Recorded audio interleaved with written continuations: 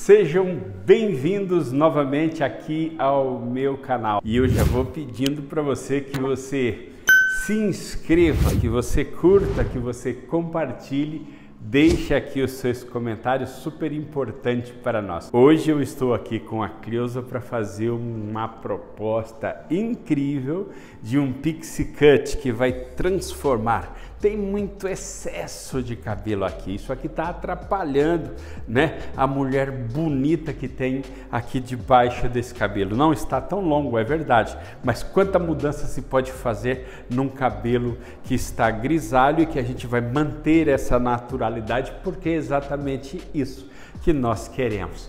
Então fica comigo até o final para eu te surpreender. Vamos lá? Vamos realizar aqui um pixie cut. Só que assim, o que eu tenho visto por aí, pessoas, né, ou profissionais que vão trabalhar e que nem dividem o cabelo para isso, simplesmente vão tacando a máquina por aqui dos dois lados, na nuca, mas sem um senso de medida para fazer isso. Sempre usamos uma referência para poder trabalhar. Aqui, por exemplo, olha, vamos mais para o canto externo da sobrancelha, quando a risca começa a acontecer e fazemos ela meio arqueada. Isso é super importante, não de qualquer maneira. Fazemos isso aqui para o canto, perto das orelhas, e seguimos a divisão para a nuca. É claro que vai depender do tamanho da mão de cada cabeleireiro, mas as medidas, olha, é sempre aqui.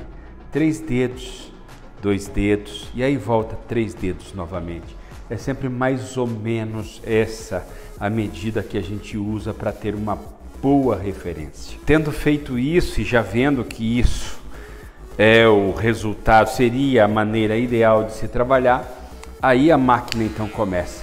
Podemos começar aqui pela frente com a máquina de número 3. E ela vai seguir curto até o final da risca que fizemos. Ela não vai ter nenhum movimento de deixar mais compridinho aqui pelo alto. Ele é curto mesmo.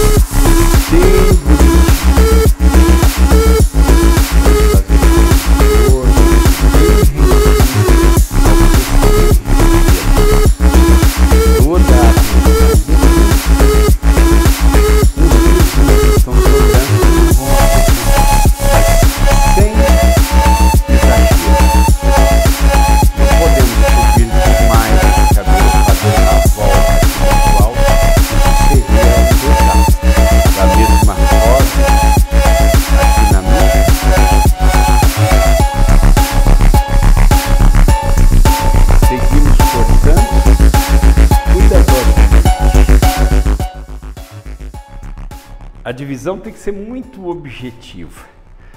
A partir do momento que você marca a altura que você quer, deslize e penteia e está pronto. Eu sempre costumo dizer, alguém que ainda não consegue dividir o cabelo com destreza e habilidade não está preparado ainda para realizar um bom corte. Uma linha de corte bem feita é uma linha de corte com exclusividade. Estamos falando aqui de algo parecido com a alta costura, com a alta moda. São coisas que arremetem ao luxo da exclusividade, do bem feito, do feito à mão, o manufaturado. É uma grife no final das contas. O nosso olhar ele tem que ser atento a cada movimento que fazemos, fazendo as conexões de um ponto de onde nós cortamos a outro com muita perfeição. Nada pode estar fora do lugar.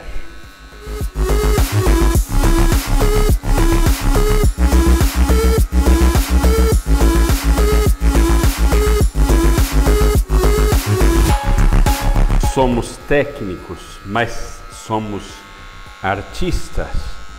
Precisamos fazer com que a nossa arte apareça junto com a técnica. É um trabalho totalmente diferente a arte de fazer cabelo.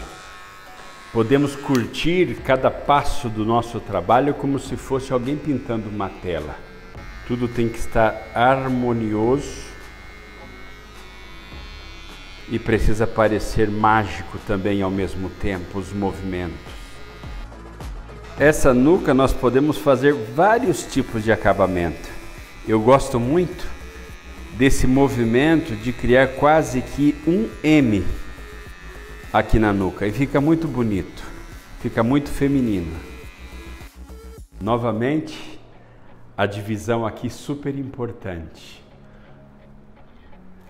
Em um movimento habilidoso e rápido, dividimos o cabelo.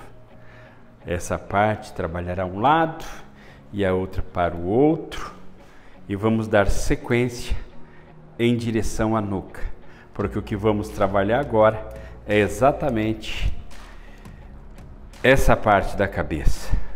Movimentos precisos e certeiros.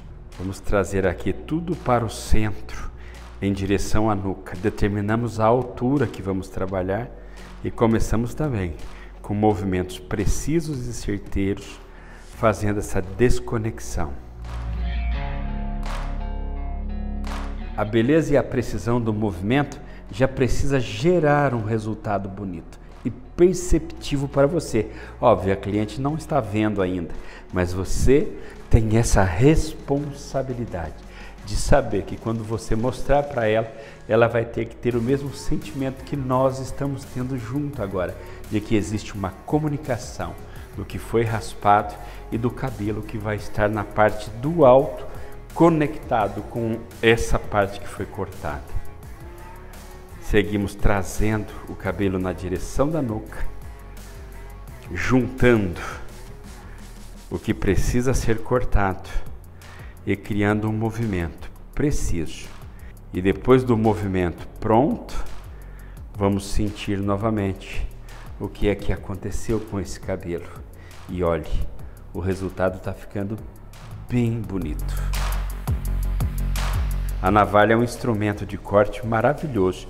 Ele não deve ser trabalhado com movimentos repetitivos para não rasparmos o cabelo, mas quando está bem afiada, ela corta de maneira maravilhosa e faz conexões incríveis que só ela é capaz de fazer. Nenhum outro instrumento vai substituir nesse resultado específico. Vamos aproveitar que estamos aqui mostrando para vocês, vamos fazer aí uso de, uma, de um terceiro instrumento. Usamos a máquina, usamos a navalha. E agora vamos criar uma conexão com a desfiadeira. E olhe bem aqui o que é que vai acontecer. Levantando o cabelo mais para o alto, quando voltamos ele, a desconexão ficou ainda maior e mais bonita, mais suave. Mas sem o começo, com a navalha, isso não seria possível, não. Não existe uma regra de quantas tesouradas nós vamos dar aqui. Cada cabelo é uma matéria-prima exclusiva, ela é única. Por isso que entregamos resultados também únicos. Olha esses movimentos. Então, quando vemos um cabelo e sabemos que podemos fazer mais desconexões, fazemos. Quando nós sentimos que o cabelo talvez não tenha volume para fazer tantas desconexões, então não fazemos. Quando achamos que podemos aprofundar e cortar mais para perto da raiz para criar movimento, fazemos. Ou então não. Isso é uma escolha do profissional de acordo com a matéria-prima que ele está trabalhando. Mas olha quanta novidade nós já temos aqui no cabelo da criança. Então, quando alguém perguntar se eu quiser fazer um pixie cut no cabelo encaracolado, se pesquisar aqui no meu canal, você verá muitos cabelos encaracolados feito um pixie cut e fica muito lindo. Se você notar, você vai conseguir ver a diferença de tamanho que está esse cabelo. Olha, e isso certamente estava atrapalhando o resultado de embelezamento do cabelo da Cleusa.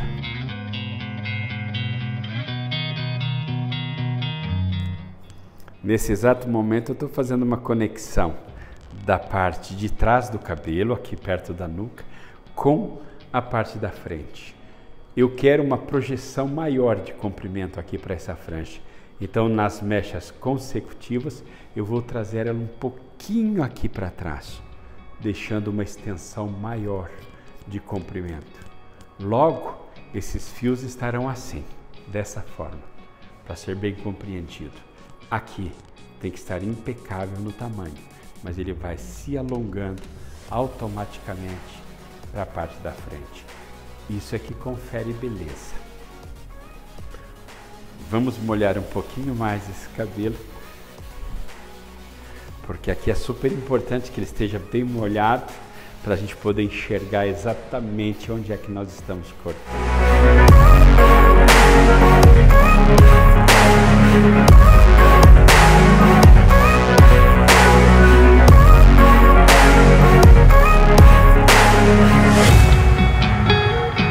As últimas mechas quase não sai nada de cabelo, mas aqui com certeza nós conseguimos o nosso resultado de uma projeção de comprimento aqui para frente, que de alguma forma, quando ele cair para os lados, ele vai estar perfeito.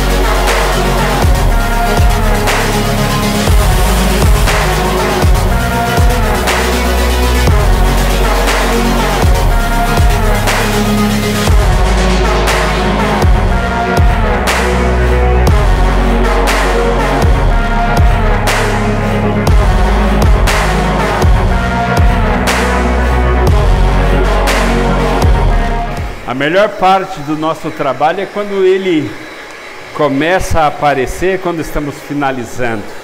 Enche os olhos quando você vê que tudo que você pensou, imaginou, realizou, deu certo, conectou, ficou bonito. Vai chamar a atenção das pessoas, uma obra de arte que não precisa de uma galeria para ser exposta quando a dona Cleusa sair na rua, certamente esse cabelo vai chamar a atenção.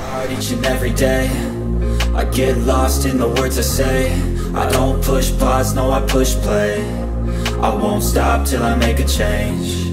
I withdraw on the things I make. I turn flaws into flawless traits. I build tall, never capped in space. I won't stop till I hear him say. oh, oh,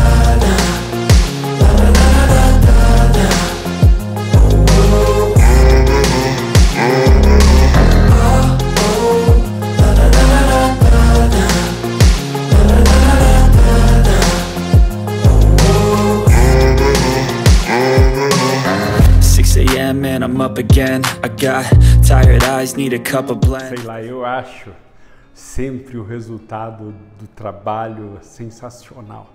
Mas eu preciso que você também julgue o que você sentiu desse resultado de trabalho. Quanta mudança houve, né, nesse cabelo.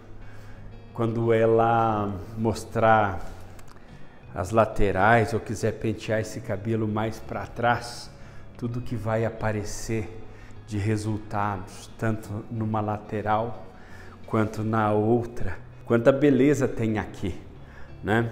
Acho que a dona Cleusa ficou com um resultado tão moderno, tão bonito, que acrescentou tanta beleza no visual dela. Eu espero que você tenha gostado também quanto eu gostei e quanto eu espero que ela vá gostar quando eu mostrar o cabelo dela ali no espelho. Eu quero que ela tenha uma boa impressão, mas nós vamos acompanhar isso junto. Eu espero que vocês estejam aqui comigo na próxima semana, sexta-feira. Fale para as pessoas do nosso trabalho. Mostra para elas o que nós temos feito aqui nesse canal como inspiração para você com todo o amor do mundo. Fica com Deus. E onde quer que você vá, vá bonito.